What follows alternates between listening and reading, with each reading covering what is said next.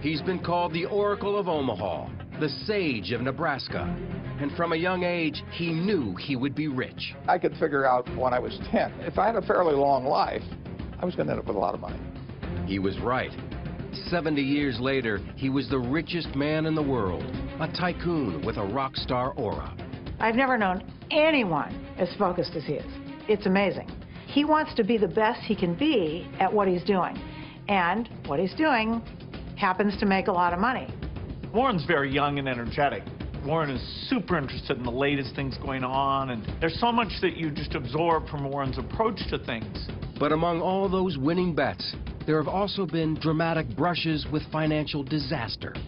Both the company and I personally promised Treasury that we would uh, aggressively help them in finding out anything we've done wrong in the past and to make very sure that it doesn't happen in the future. And I was scared. I was scared stiff. There were a lot of people that wanted us to go out of business over that weekend, and I didn't know what was going to happen. And behind his folksy demeanor, there's one of America's shrewdest and toughest businessmen. You don't make $40 billion by being Mr. Rogers or by being one of the Muppets. Warren takes no prisoners when it comes to a negotiation. He uses every bit of leverage that he can.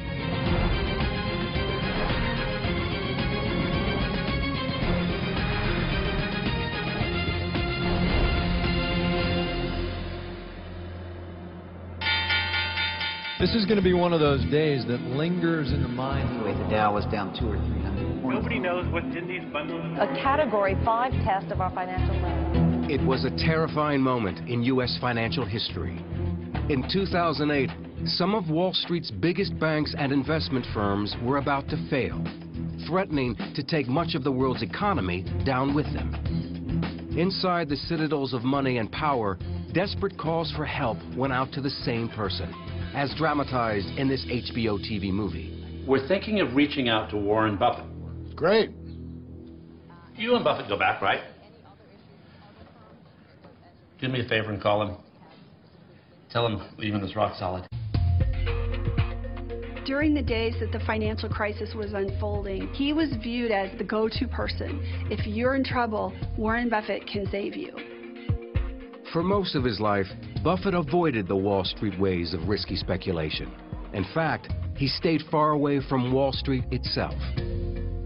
Warren really is a product of Omaha, especially in the era that he grew up there. The virtues of modesty, thrift, plain spokenness, and Warren really exemplifies those. Warren Buffett still lives and works just a short distance from where he was born in 1930. And it was here in Omaha that he began his obsession with all things financial. It hit me right away. It was like kids that like to play the piano early or something of the sort. I always liked numbers. I, I knew I was going to be interested in stocks the rest of my life, but probably at the time I was, um, you know, eight or nine. I used to keep charts on all kinds of stocks when I was uh, that age. My aunt gave me a, a world almanac, so I'm, I memorized the population of all uh, uh, cities of any real size. But I, I just like numbers. It, it, was, it was not limited to, to business numbers at all. Buffett also had the uncanny ability to remember all those numbers and how they fit into the big picture, a skill that would be the bedrock of his later success. Former Wall Street analyst Alice Schroeder is the author of The Snowball, Buffett's authorized life story. Warren grew up in the Great Depression. The family did not have money at all because his father had lost his job as a stockbroker. And so around the dinner table, money was what they talked about. But Buffett wanted to do more than talk. My grandfather had a grocery store, and I used to buy Coca-Cola from him in six packs for a quarter and sell them for a nickel each. I sold the Saturday Evening Post door to door. I sold Ladies Home Journal. I had all kinds of little ventures. Not all, not all hugely successful, I might add. I liked doing business early on. Journalist Roger Lowenstein wrote an early biography of Warren Buffett. Then he gets into more exotic things. He collects golf balls. He gets other kids in the block to do that with him. They, they collect golf balls and resell them. He's picking up stubs at the racetrack when he's 10, 11, 12, because some of them haven't been used yet. He grows up knowing he wants to make money. You know, investing in business comes later, but it's in him. Buffett made enough from these ventures to do what, until then, he had only dreamed of doing playing the stock market. First stock I bought was City Service Preferred It was a stock that had passed the dividend for how many years? 20 years or something like that. And so it had large accumulated dividends, and it was selling at 38 and a quarter, and I bought three shares. I went all in. That was all. The, that was my entire net worth. At the same time, Buffett's stockbroker father, Howard Buffett, had won a seat in Congress as a conservative Republican, and in 1943 he took the family to Washington. It was a chance for Warren to start a new business, delivering papers for the Washington Post. Well, I started with a couple of routes because I was good about delivering papers on time. So then they gave me these absolutely prime routes. Got up to where I was making probably $150 a month or something, which was a lot of money in that. And I was making it all before I went to school in the, mor in the morning, so it was good. Savings from those paper routes became the seed money for his later empire. I'd made uh, $9,800, and I, I made most of that delivering papers. I delivered about 500,000 papers, and I made about a penny a piece. So I made about $5,000 from the delivery of papers. After high school, he was ready to go full-time as a businessman and investor, but his father convinced the 16-year-old Buffett to go to college first. At the Wharton School of the University of Pennsylvania, he roomed with fellow Nebraskan Charles Peterson. He was very immature. He wore tennis shoes, or if he wore shoes other than that, he had a hard time having them both be the same color. He may have a black and a brown shoe on and never know the difference. Hair messed up. But Buffett was way ahead when it came to academics. Uh, every day after class, I'd spend so many hours studying. Warren, on the contrary, uh, picked up the, the, books that were applicable to him and uh, sat there and flipped through them page by page. Uh, and he might be through two or three courses in a, in a couple of weeks. He had a photographic uh, uh, mind. I did not. And Buffett had a unique way of spending all those hours he did not have to study. At that time, he was crazy about Al Jolson. And he'd play those records, Mammy, Mammy, how I love you, Mammy, and mimicking it an hour after hour. And what other songs? And at that time, I was ready to go crazy. And when he wasn't singing, Buffett was getting his first taste of political activism. I was president of the Young Republicans Club at the University of Pennsylvania, and, and uh, I even ran for delegate to the National Convention one time as a Republican. After breezing through college, Buffett went to interview for Harvard Business School. I was 19 at the time, and the fellow spent about 10 minutes with me. he said, you, he said, you better come back again later. It was very clear I flunked the interview.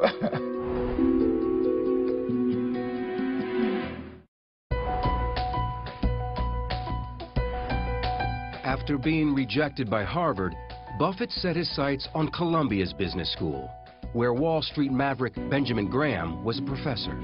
Graham's investment philosophy was simple, but it defied conventional Wall Street wisdom. Many people take their cues as to what to do from what the market itself is doing. But Graham would, would tell you that the market is, is there to serve you, not to inform you.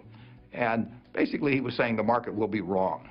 Now, that flies in the face of what a lot of other people think. But Graham would say that sometimes the market is very, very wrong. And if you look at the prices of stocks as buying pieces of businesses, you will be able to recognize when the market is very wrong. Graham's way was to find undervalued stocks that were off the radar. And Buffett became his most devoted disciple. He taught us to find a dollar bill that was going to be, you could buy for 50 cents, but the dollar bill wouldn't necessarily increase in value very fast. And I analogize that to essentially walking down the street looking for cigar cigar butts with one puff left in them, and they weren't very attractive, and, and there was maybe only one puff in them, but they didn't cost anything. Armed with the Graham philosophy, Buffett headed back to Omaha to start his own business. He said, I'm going to form a partnership. And he said, would you want in? I said, sure I do. There was only uh, seven or eight people in that original partnership. Convincing people beyond the first seven investors got rockier. My sales pitch wasn't very effective. I was, I was 20 years old. Uh, I looked like I was about 16, and I probably behaved like I was about 12. So I would go around and call on people. They were always nice to me. But I would see a Mr. Smith, and, and uh, I would go through all these facts and figures about why you should buy some stock. And when I got all through, in my head, I would count to three. I would go one, two, three. And then Mr. Smith would say, what does your dad think? And I would always want to hit him. But it was frustrating. Buffett knew that he had to be a better salesman. So he turned to popular self-help guru Dale Carnegie. Well, I, I, I, had to be able to communicate with people better, and, and I mean in groups particularly. I just knew that I, I, couldn't go through life terrified of public speaking, and I'd, I'd heard about the Dale Carnegie course. And he applied those lessons when he began dating hometown girl Susan Thompson. I mean, I proposed to my wife during during the Dale Carnegie course. So I mean, I got my money's worth right, right off, right, right during the course. I had the intellect to succeed, but I didn't. I, I did not have the persona. I was not put together as a person un, until I met her. Buffett was finally ready to put his career in gear. He was picking stocks that others were ignoring, and his stocks kept going up. Little by little, word spread around Omaha that the kid knew what he was doing. He's devouring every annual report, and they stay devoured. He remembers them, and he, you know he, has got these balance sheets in his mind, so that if a stock gets cheap, you know, three years later, he remembers what the fundamentals of the company are. This is a buy now.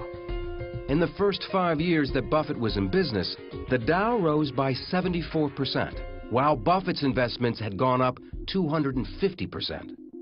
In 1961, at the age of 30, he reached millionaire status. Friends like Stan Lipsey saw that he was still operating as a one-man band. His study was right off the bedroom in their house. He wasn't even in an office building at that point. And they had three kids. And people joke about Warren not knowing his kids, and that's, of course, a great exaggeration. But the fact of the matter, Susie stabilized the family so that Warren could do the studying that he needed. His wealth was growing rapidly, but you couldn't tell that from the way the family lived. Their home, which Buffett still lives in, was bought over 50 years ago for $32,000. His children all went to public schools. Susie Buffett is the eldest of three Buffett children. We grew up in a way that uh, I think is probably different than most kids if you've got a dad who has what my dad has. I mean, we didn't get cars when we turned 16. We didn't we didn't live any differently really than most of the other kids we knew. The biggest change in the Buffett household was that Warren was moving away from the staunch republicanism of his father.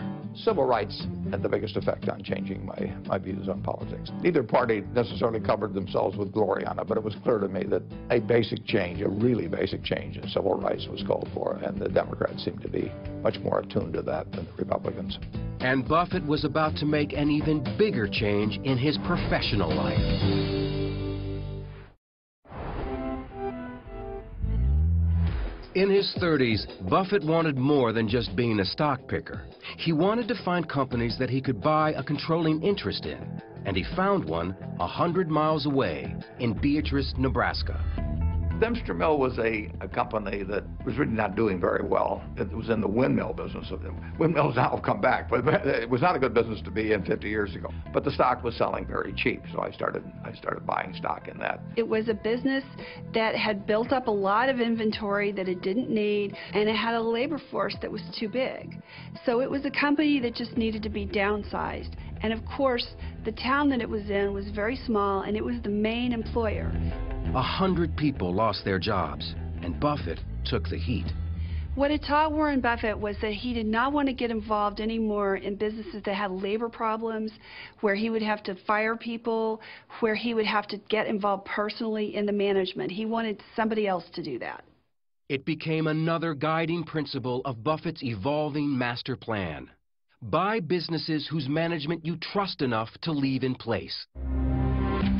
Buffett's next big investment also looked like a potential failure. It was a textile mill called Berkshire Hathaway, whose stock was selling for $7.50 a share.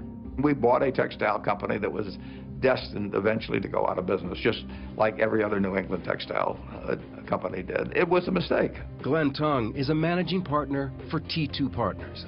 Berkshire Hathaway was not a good business. They didn't have a competitive advantage that allowed them to earn a sufficient return on the capital invested in the business.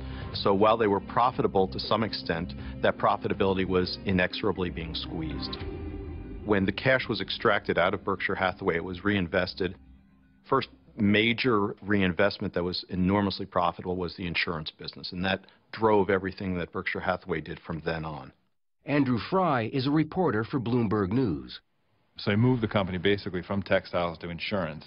And part of the reason was because the industry itself generated profits, but also because through the premiums that they gathered up from their policyholders, Buffett was able to take that and make his stock investments. It's called the float. Money comes in interest-free from insurance premiums, which then gets invested in other businesses. And while the textile mill eventually died, he kept the name Berkshire Hathaway, which would live on as the name of his soon-to-be multi-billion dollar company. Rather than try and rename it every few years based on what I just bought, uh, why not just stick with the original? People, uh, people know what Berkshire Hathaway is about. It says so much about him, about Buffett, that he sticks with Berkshire Hathaway. Anyone else, they would have gone to, you know, BH Diversified Resources, uh, he likes it. He likes the history of the company. He's not a changeling. Buffett was now on a roll, buying bargains like See's Candies and Blue Chip Stamps, a popular shopper's loyalty program of that era. Like the insurance business, it delivered interest-free cash that could be used for future investments. I think I have just enough books. It's quite a business. And he'd found a professional partner who was as market savvy as he was, Charlie Munger, who was working as a lawyer when the two first met. Well, Charlie Munger actually grew up a half a block from where I live. He worked at my grandfather's grocery store, as did I, but he was six years older, and I never knew him at all in Omaha. And then through a mutual friend, uh, we got introduced. In about 10 minutes, I knew that this guy and I were going to do a lot of things together over the years. When I met Warren, he immediately started telling me how much better his way of making a living was than mine and that I was too smart to stay in such a silly business as law practice when I could go into his business of running an investment partnership. And it took me about two or three years to, to uh, realize he was right. In the late 1960s, Wall Street was in the midst of an unprecedented boom. Stock prices were soaring as everyone rushed into the stock market. But for Buffett, it was time to get out. I was running a little, little over $100 million and had a lot of happy partners. And I wrote them a letter and I said, you know, I don't know how to play in this game anymore. The valuations have gotten uh, to where I can't find things. I terminated my partnership in 1969. It seems counterintuitive, but Warren has always quoted Gus Levy, who said, Be greedy when others are fearful, be fearful when others are greedy. And Warren knew that the party would come to an end and at some point the bubble would burst. Buffett was 40 years old and was worth more than $25 million. But without the partnerships to oversee, he started getting restless and in 1973 made a fateful decision to buy into a California bank called Wesco. The problem was, Wesco was in the middle of a merger deal with another company. And the next thing you know, the company that was going to buy Wesco complained to the Securities and Exchange Commission that Warren was trying to bust up their merger, which would have been illegal. And so an investigation launched. The SEC went through every nook and cranny of Buffett's businesses, and what they saw alarmed them. Buffett and Munger's investments were a complex spiderweb of ownerships and cross-ownerships. We had drifted in since we had several companies so the whole thing looked like so much spaghetti that had been done for some evil master purpose. We didn't feel we'd done anything improper, but there were a lot of rules, and, and, and the, the question was whether uh, we'd violated any of them.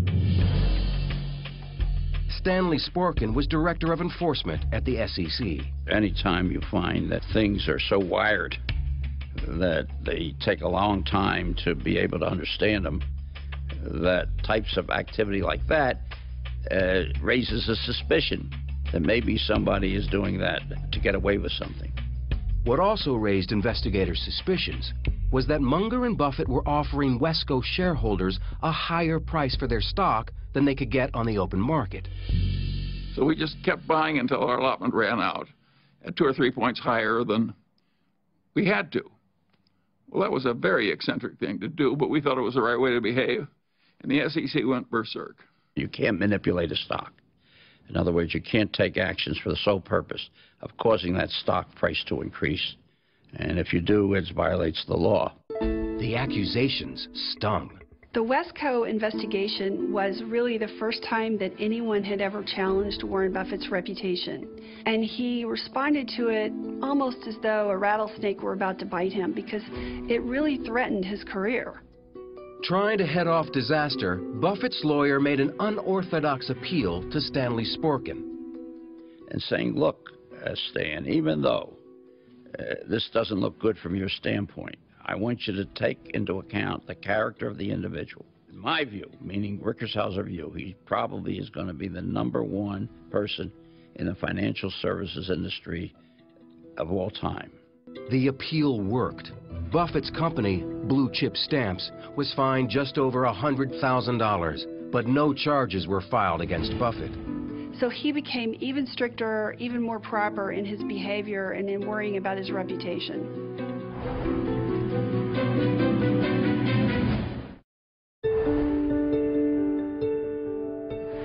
1973, Berkshire Hathaway's stock price hit a new high of $93. Its profits driven mostly by their insurance businesses. Buffett also owned stakes in banks, clothing makers, and candy factories. But there was one business he was passionate about owning. I love newspapers. I mean, I started reading newspapers. You know, my dad would bring them home when he, I don't know whether it was six or seven or eight, and it was the first thing I'd grab. You know, my sisters would grab them too. We all like to read. His first newspaper purchase was an Omaha weekly called The Sun. The Sun was a very small business. I mean, it never made any money at all. Stan Lipsey was the publisher of Sun newspapers. We were a weekly publishing against a daily, so we had to uh, initiate stories, hopefully investigative pieces, and we'd sit there and brainstorm what we could do. At one meeting, Buffett suggested doing a story about Boys Town, a legendary home for orphan boys located just outside Omaha and made famous by the 1938 movie with Spencer Tracy and Mickey Rooney. 4,000 boys have passed through this city of little men. It was sort of common knowledge around Omaha that the money was pouring in there, and the number of boys had gone down. They'd, they'd had a thousand boys at the peak. And now I knew the population had gone down, so I, I, I thought there was a story there. Buffett knew that charities like Boys Town had to disclose their net worth in a federal form called a 990. So Warren said to us, go to Washington and get the Boys Town's 990 and you'll have a lot more information. And that was about the most important piece of information we could lay our hands on. That led to the headline, which was 700 boys with $209 million. And the kicker, the overline was Boys Town, America's richest city. The story won a Pulitzer Prize in 1973, a rare honor for a local weekly newspaper. There was a phone call from Stan Lipsey, and he said, we won the Pulitzer on this. It was a big day. Buffett now had a taste of the big leagues, and he wanted more.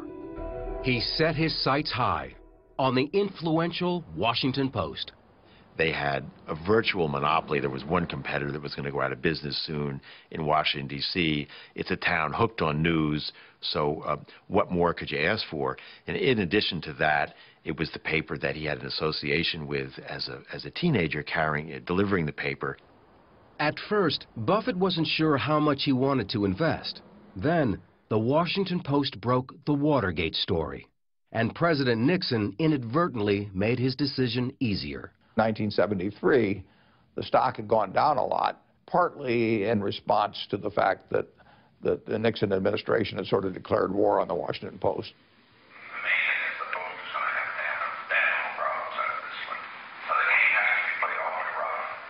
The stock fell from, eventually fell, I think, from 38 to like 15 or so, and we bought a lot of stock in a very short period of time. I mean, people were barreling out of the stock, big institutional investors. And the interesting thing is, is when we were buying that stock at $20 a share, if you'd asked the people who were selling it to us how much the company was actually worth the businesses, they would have said $100 a share. But they sold it anyway. I salute uh, the Nixon administration for, for, for stirring up the dust at that time.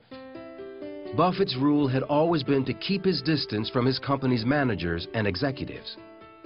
But that was not the case at the Washington Post. Where publisher Katharine Graham became his social partner and confidant. What Katharine Graham offers to Warren Buffett is a seat at the larger table. Suddenly, uh, you know, he's at dinners with Henry Kissinger, and suddenly he's not just an investor from Omaha. You know, he's a part of the scene in, in, in Washington. He's meeting Ben Bradlee, uh, the President of the United States. This was not his world, and Katharine Graham was really his entree into that world.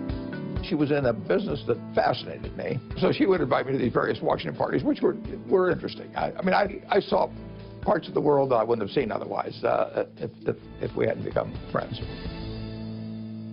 But as Buffett's social circle widened, his wife Susie was feeling increasingly isolated back home and made a bold decision, unusual for a Midwestern housewife of that era. She was not divorcing Warren, but she left Omaha for San Francisco to pursue a new life and a new career as a singer. I get why she moved. My dad was getting more famous, and my mother was so not the Mrs. Warren Buffett type at all. You are in a fishbowl, and everybody wants stuff from you, and it's just it's it's a it's not so much fun, really. Their relationship never changed at all. They were completely in love with each other. They talked five, six, seven, eight times a day. They traveled together. Um, she just couldn't live here. To make sure that Warren was taken care of in her absence, Susie turned to her friend, Astrid Menks. Susie knew what a solid, warm person Astrid was. And she sort of asked Astrid to look out for Warren. And that's how they got to know each other. Within a few months, Astrid moved in. It's very unorthodox. A lot of people, I'm sure, talked about it and had all kinds of lovely things to say about how weird it was. But I also think, you know what? It's nobody's business what goes on in somebody else's relationship. It worked for the three of them. It worked. Buffett was adjusting to his new domestic arrangements, and his success as an investor in the Post sparked a desire for full ownership of a daily metropolitan paper. He looked at a number of them. The Buffalo Evening News, that was called then, became available. At $33 million, it was Buffett's largest investment yet. The Evening News was one of two Buffalo dailies. Unlike the competition, it didn't have a Sunday edition. The competition, uh, Courier Express, had a morning paper that was sort of flimsy, but they had Sunday, which was a hell of a paper, and Warren and I both knew that Sunday was only going to get stronger and that you had to have a Sunday paper. I knew that we felt faced extinction unless we got into the Sunday newspaper business. And so I did that uh, within, I don't know, six or eight months after we bought the paper. And uh, at that point, all hell broke loose. All hell broke loose when Buffett's competition, the Courier Express, took him to court on an antitrust charge. Daniel Mason was a lawyer representing that paper. It was very hard, we said, to justify a $33 million purchase price uh, based upon the revenues that the news had, unless the news wound up being a monopoly newspaper. A federal judge put a halt to Buffett's Sunday strategy, and advertisers began deserting his paper. He's losing money hand over fist. It almost becomes, you know, uh, it, just a huge sinkhole. But Buffett didn't back down. We knew that it was not going to be a long-term position to expect two papers to survive in Buffalo. Eventually, one of those papers was going to lose out, and the other paper was going to be a hell of a success because their financials would change. The fight went on for months until the judge's order was overturned. Buffett's competition soon went out of business, and Buffett's paper went on to become hugely profitable. You don't make $40 billion by being Mr. Rogers or by being one of the Muppets.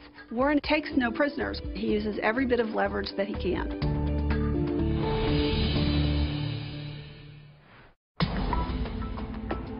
In 1985, Berkshire Hathaway stock was $2,000 a share. Buffett was now a billionaire. That same year, he made history yet again when he helped finance Capital Cities' takeover of the American Broadcasting Company. It was the biggest media deal ever, and one that also led to guest appearances on ABC soap operas. Oh, Warren, are you thinking of buying out a, a cosmetics company? Oh, Erica, I'd never dream of going in competition with you. Oh, well, that's a relief. but home was still Omaha, and Buffett saw himself standing apart from the high-flying ways of Wall Street. He was famous for sayings like, if you want to make a lot of money, hold your nose and go to Wall Street. And he had a sign in his office that said that Wall Street was about bulls, bears, and bum steers. But in 1987, Buffett decided to invest $700 million in what was then the nation's largest investment house, the powerful Salomon Brothers. So when he invested in Salomon, which was the classic quintessential Wall Street firm, people said, what is Warren doing? But what always happens with him is if the chance to make money is big enough, some of these concepts sort of get put by the wayside. But a few years after Buffett's initial investment, Salomon got into big trouble. It turned sour when I got a call in August of, I guess, 1991. They sort of hinted to me uh, about the problems that were coming. A trader named Mozer had done some very bad things in the government, U.S. government bond market. Those bad things included illegal moves by that Salomon trader to corner the bond market by using unauthorized accounts to increase Salomon's share and force out their competitors. Deryck Maughan was a vice chairman at Salomon Brothers. Though he had no involvement in the scandal, he was appalled at what was happening. To me, it was clear that we'd broken the law. We'd interfered with the workings of a critical market, and that the Treasury and the Fed would be less than amused. But the worst was yet to come. Salomon executives found out about the deception, but delayed in reporting it to the authorities. That understandably infuriated the U.S. government, the Federal Reserve, the U.S. Treasury, everybody, when it was found out that they hadn't promptly acted. As CEO of Salomon Brothers, John Gutfreund was taking the blame for the mess. I remember it vividly. When you make the front page in the right-hand column of the New York Times and you picture but you're a fool, which I probably was. My disrepute became national. Should have been one of the worst days of my life, and probably was. I told Tom Strauss and John Meriwether uh, that we had to go. Talk on Wall Street that Salomon's top officials were offering to resign to prevent the firm's possible debarment as a primary dealer in Treasury securities the CEO had departed the scene in the company of his lawyers. We were effectively decapitated. In the meantime, this highly leveraged institution is floating in free space. Gutfreund made one last desperate attempt to salvage the company with the only solution he had left, a phone call to Omaha, Nebraska. And he says to Buffett, um, I'm going to have to resign. We need you to come in and be the CEO. Gutfreund needed someone who both had the confidence of the government and in some larger way the confidence of America to say, yes, this is the Wall Street guy we trust. And literally there was only one person in America who could fit that description, and that was Warren Buffett. And I wasn't involved in the thing so that I was not tainted. The hope was that I would be credible with uh, all the people that were mad at us. there were a lot of them.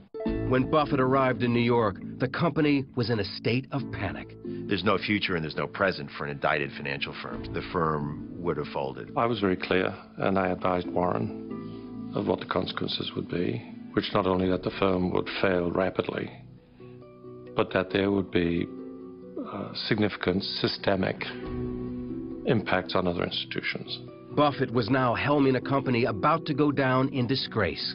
Warren used to say that it takes a lifetime to build a reputation and five minutes to lose it. And he was afraid that Salomon could be that five minutes for him. It was August 18, 1991. Treasury Secretary Nicholas Brady had ruled that Salomon was out of the bond business. It was announced at about 10 in the morning on a Sunday. The U.S. Treasury had knocked us off the list of really acceptable people, primary dealers, that, that would have been uh, a death blow to the company. So I had to get that changed by the time Tokyo opened. He only had a few hours. Once the Tokyo markets opened, the firm's fate would be sealed. The Japanese banks could have begun a run on the bank by selling our stock, by liquidating their positions with us, by demanding cash they could very quickly drain the firm of its capital and its liquidity. That momentum would transfer to the London market, and by the time New York opened, we would have been in acute crisis. Buffett called longtime confidant Charlie Munger into New York for an emergency meeting. I will never forget that as long as I live. That was the most awesome moment in my life because that would have been a national calamity. And it looked for a long time as though the government was just going to say, the hell with you, Salomon. Warren Buffett spent the entire day in frantic phone calls to Washington, trying to get the feds to back off. I was scared stiff. And it probably came through in my voice when I was talking. I was talking to Nick Brady, who was the Secretary of the Treasury, and Jerry Corrigan, who was the head of the Federal Reserve of New York. And these people were undeservedly, uh, understandably, furious with what Salomon had done. And, and uh, uh, there were a lot of people that wanted us to go out of business over that weekend, and I didn't know what was going to happen. At the 11th hour, there was one final call with Nicholas Brady. There was a big emotional catch in Warren's voice when he was talking to Nick. And I think Nick realized that if he's that disturbed by this, maybe he's right that we should back off just a little. Didn't, he didn't have to back off very much, just a little bit. And uh, it prevented the calamity. A visibly shaken Buffett faced dozens of reporters waiting in the Salomon Auditorium. The Treasury saw the Salomon Inc. Board of Directors today uh, take some major steps to uh, install new management. Both the company and I personally uh, promised Treasury that we would uh, do everything we could do to uh, Uh, aggressively help them in, uh, in finding out anything we've done wrong in the past and to make very sure that it doesn't happen in the future. And they want that and they need it and they're entitled to it. Buffett emerged the hero, his reputation more exalted than ever. Warren Buffett meeting with the financial community, signing autographs. They love him. The man with the squeaky clean image who's trying to clean up the mess at Salomon Brothers. I'm going to be the American Bar Association's Man of the Year. I mean, we are spending a lot of money on, on legal fees. Uh, John Gutfreund found himself cast as the heavy. You need a villain. Somebody who led all these people astray and did all kinds of bad things. But I didn't see how I could fight it. I couldn't put Salomon at risk.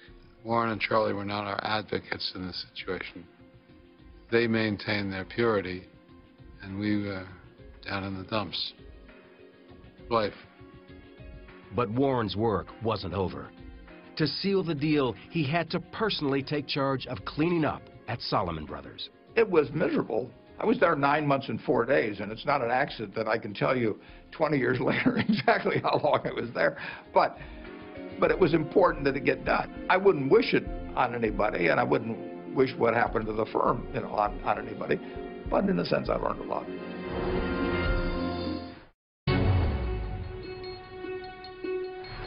In 1993, Berkshire Hathaway stock hit $17,000 a share, and Buffett was world famous.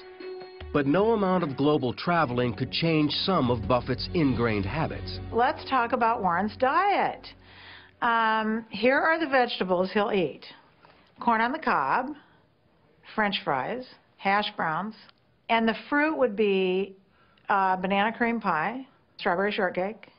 I think that's the end of the fruit. He also drinks, you know, several cherry cokes a day.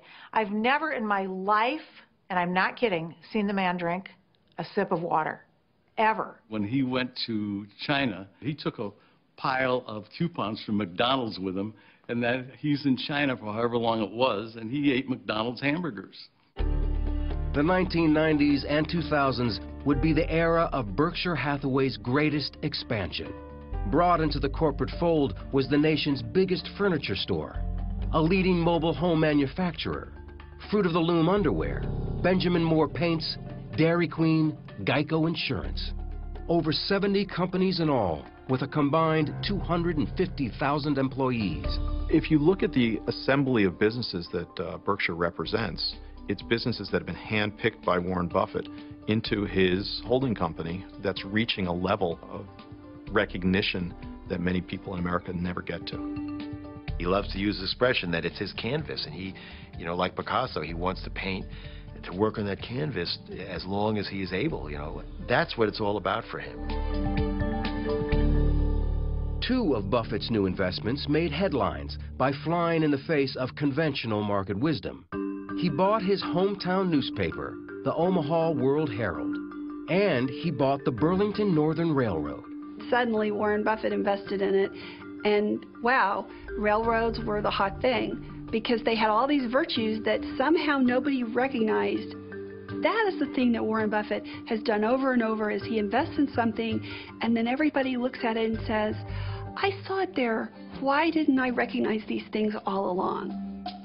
In Omaha, Berkshire Hathaway's annual meeting has become a place of pilgrimage for tens of thousands of shareholders. It's really an amazing thing. The stadium is filled and the spotlights are on a small folding table with two 80-year-olds at that table, and those two 80-year-olds have more stamina than anyone else in the room.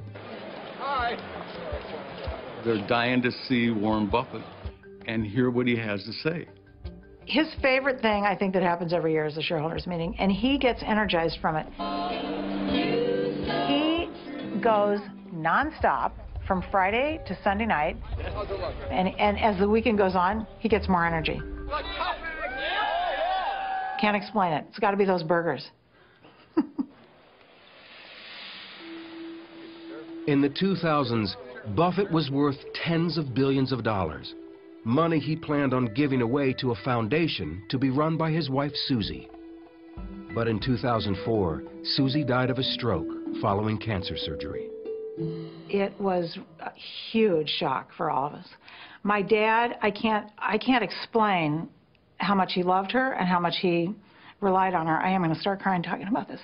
Um, it, you know, he'll never totally get over it. None of us probably will, but she was really something very special. We had always sort of talked about things and planned things, assuming he would die first. So when she died, it was it really was big. Two years after his wife Susie's death, Buffett married Astrid Menks in a private ceremony. And he announced that he was pledging the bulk of his fortune not to his children, but to the foundation run by Bill and Melinda Gates. Bill Gates has been one of Buffett's closest friends since the early 1990s. So it was, you know, kind of phenomenal. It made us step up our ambition level, uh, add a lot of things we wouldn't have been able to do. And uh, so now every year, it's a gigantic gift that allows us to be double what we would have been without it. They're young, they're energetic, they work much harder at it than I would. I get to keep doing what I love doing, you know, and, and they're going to achieve the same things much better than I would. It's a perfect solution for me to get somebody else to do the work. I've always been good at that. But as his 80th birthday approached, an international crisis would open yet another new chapter in Buffett's life. Absolutely stunning morning on Wall Street. Lehman Brothers filing for bankruptcy. In 2007, a single share of Berkshire Hathaway stock hit an all-time high of $150,000. And people call this work. but the next year, the entire U.S. economy was in crisis mode. The Dow closed Monday's session down more than 500 points.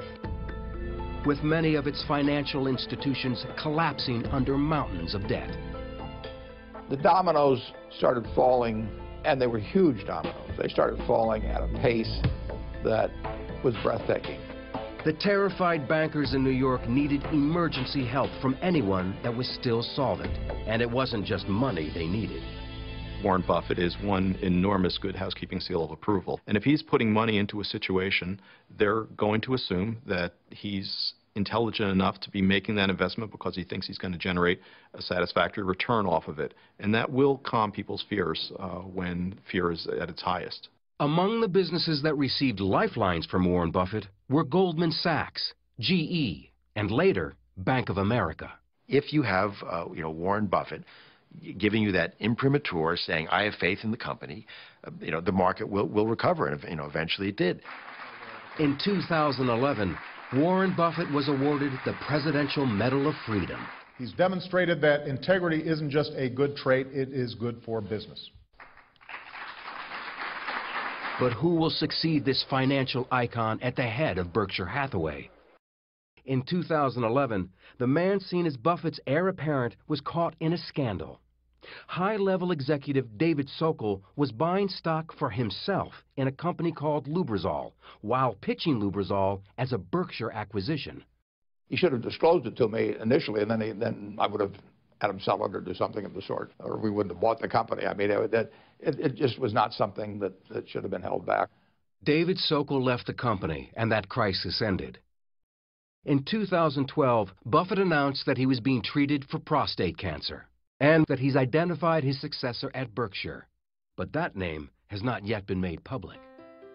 What he has made public are the political and economic causes that he feels passionate about. I think in the last couple years, he has seen some places where he thinks if I open my mouth, it might make a difference. What he's most vocal about is what he sees as the inequities of the tax system something that's come to be known as the Buffett rule. There's all kinds of ultra-rich who pay normal taxes, but there are a, there's a small segment, but you can find them very easily, who pay very low taxes, including me. He considers himself, you know, lucky to have been born in America at this time in history. Buffett is just a unique character who came along in a period when America became fascinated with finance, who did it better than anybody. And he's been able to bring Wall Street back to Main Street in a way that I don't think we'll ever see again. I think he's one of the most memorable people I've ever met. Uh, he's touched a lot of lives uh, with what he's done, and everybody that he's dealt with has made money doing it and has improved their life. There are really no people like Warren where, you know, we should sit back and, and, and benefit from the deep thinking he's done about business uh, since he was very young. I think it's all about I'm the world's greatest investor and I've got $40 billion to prove the point. I just have a great time every day. I mean, I, I am getting to do exactly what I want to do in life. You know, it doesn't get any better than that.